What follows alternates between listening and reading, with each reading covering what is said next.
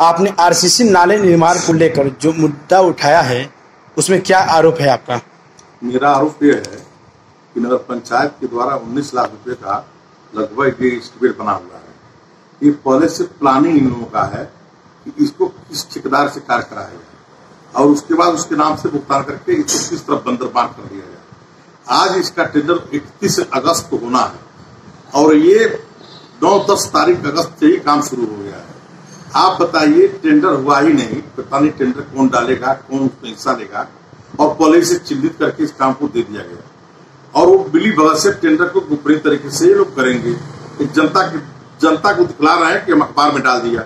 और उसके बाद जो टेंडर लेने जा रहा है, उसको लोग वापस कर दे रहे हैं, क्योंकि पहले से मिली भगत करके उन्नीस लाख का दुरुपयोग करेंगे। इस नाते मेरा आरोप है, अभी इसके पिछले नाले गोल्डन पिक्चर पैलेस के सामने का दो बार ध्वस्त हो चुका तीसरा बार दस हुआ उसके बावजूद उसका भुगतान इन्होंने कर दिया। ये लाखों लाख रुपए का बंदरबान ये नगर पंचायत के ईओ और अध्यक्षा के पति और अवर अभियंता, ये लोग जिस तरह सरकारी पैसे का दुरुपयोग कर रहे हैं, इसका सीधे जाँच कर लिया जाए। एक ज़िले की कमेटी है जो उसको लिख दे रही है कि बहुत बढ़िया निर्माण हुआ है। वो कौन कमेटी है जो लिख दे रही है? उस कमेटी का लिखा हुआ को मैं चुनौती दे रहा हूँ, उसका भी जाँच करा लिया जाए। पूरा प्रशासन का सामने ये मामला आ जाएगा क्या ही है? ये जो निर्माण कार्य हो रहा है ये कब से यहाँ पे शुरुआत हुआ है? दस तारीख से। अच्छा। इकतीस को टेंडर होना है इसका। अगस्त को दस अगस्त से शुरू हो गया। आप मौके पर चलकर देख लें कि वो नाला बीस परसेंट बन चुका है और सत्तर अस्सी परसेंट तक खुदाई हो चुकी है टेंडर के पहले ये काम किया जा रहा है। टेंडर भले काम हो रहा है। सिद्ध हो रहा है कि पैसा बंदरबान करना है इसमें। किसके मकान से किसके मकान तक का ये निर्माण? के मकान से हाँ। मानवेंद्र सिंह के मकान तक। वो क्या कार्य जो इसमें हो रहा था वो पूरा हो गया कि अधूरा भी है? नहीं अभी तो अधूरा है काम। जब एक कंप्लेंट हम लोग अट्ठाईस तारीख को कंप्लेंट प्राप्त की है तो ये लोग काम को तुरंत बंद कर दिए हैं। इसमें अभी आपकी प्रतिक्रिया क्या है? हमारी तो प्रतिक्रिया यही है इसके बावजूद भी आपको मैं चैनल पर बोल रहा हूँ आप इसको प्रसारित कर देंगे। इसके बावजूद जो टेंडर खोला जाएगा और वो टेंडर फिर से वो ठेकेदार पा जाएगा। सीधे नोट नोट कर लीजिए कि 19 लाख रुपए का सीधे दुरुपयोग हो रहा है। आखिर इसका इसे हमारी भारतीय जनता पार्टी की सरकार में आखिर कैसे किस तरह हो रहा है कि मैं एक साथ लड़ाई लड़ रहा हूँ और जो जांचें आ रही है वो सीधे खत्म हो जा रही है? कौन इसका जिम्मेदार है भाई? किसके वहाँ हम जाए? एक न्यायपालिका बचा हुआ वही जाना है हमको अब। यह मुद्दा जो मैं उठाया हूँ, इसके लिए चाहे जो भी हो जाए, आर पार की लड़ाई लड़ूँगा इसको अंत तक पहुंचाऊँगा। कि भ्रष्टाचारियों का चेहरा सामने आ।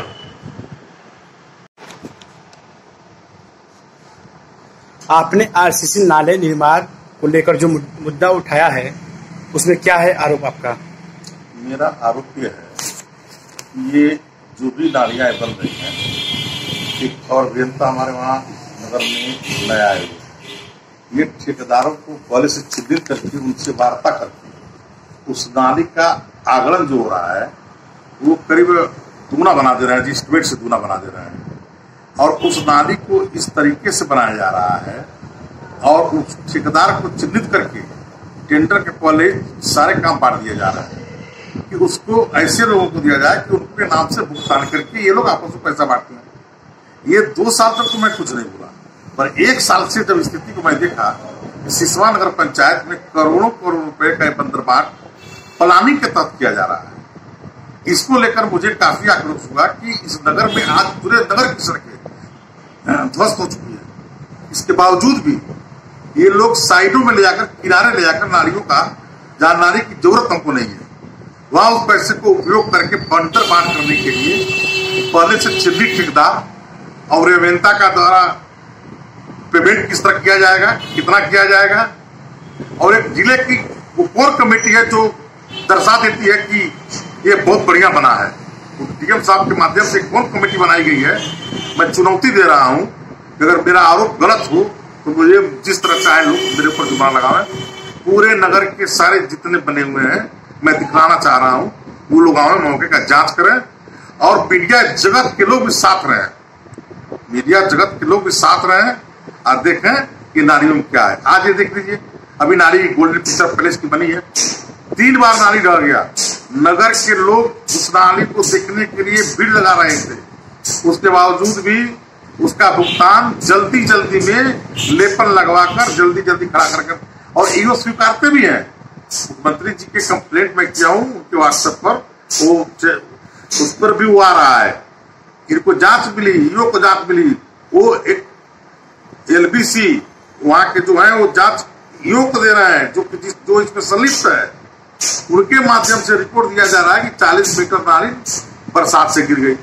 अब बताइए भैया, बरसात से कैसे गिर जाएगी ये तो आपका बहाना बनाकर इसको हटाना है किसी तरह। आप स्वीकार भी कर रहे हो चालीस मीटर नाली गिर गई।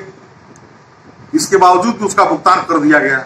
उसकी जाँच करा लें इस वक्त जो बाईपास रोड पे नूर मोहम्मद के मकान से श्री मानवेंद्र सिंह के मकान तक जो इसमें नाली निर्माण हो रहा है, उसमें आप क्या कहना चाहते हैं? आज वो नाली कल जब कमिश्नर साहब वहाँ से हम लोग पत्र देकर लौटे हैं तो सारे नगर पंचायत के जितनी भी गाड़ियाँ पानी टैंकर थी, इसको जल्दी जल्दी हटाया गया। जब उनको मालूम हो गया कि इस पर कंप्लेंट हो गया उसको रोक दिया गया। इसी से आप स्वयं मौके पर अभी भी समय है, चलकर देख लीजिए आप लोग कि उसको बंद कर दिया गया है और किस तरह निर्माण कराया गया है।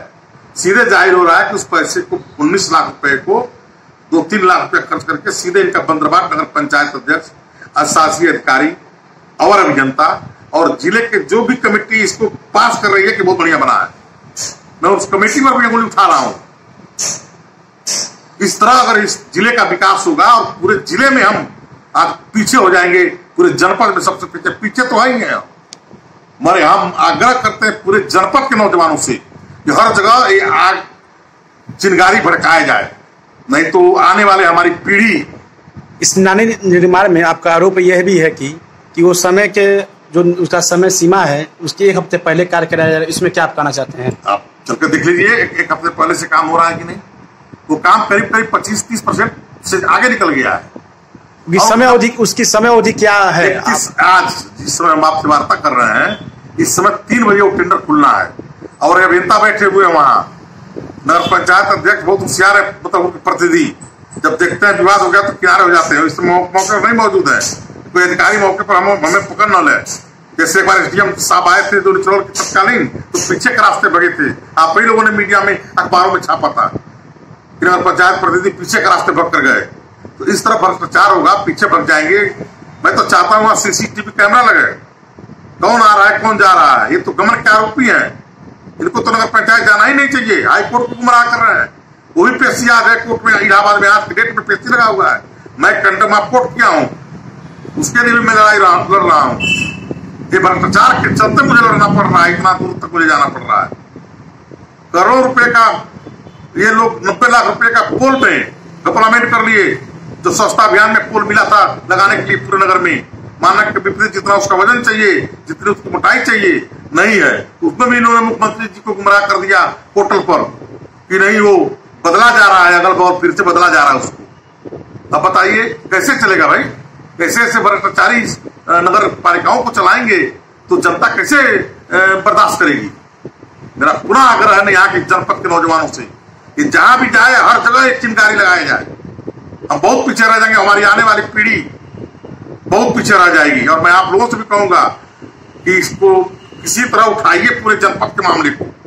हम के ही लिए नहीं कह रहा हूँ हर जगह आवाज़ उठनी चाहिए कि भ्रष्टाचार में जो जनप्रतिनिधि लोग जीत के जा रहे हैं और सीधे जनता को बेवकूफ़ बनाकर और सीधे तुहन हो रहा है।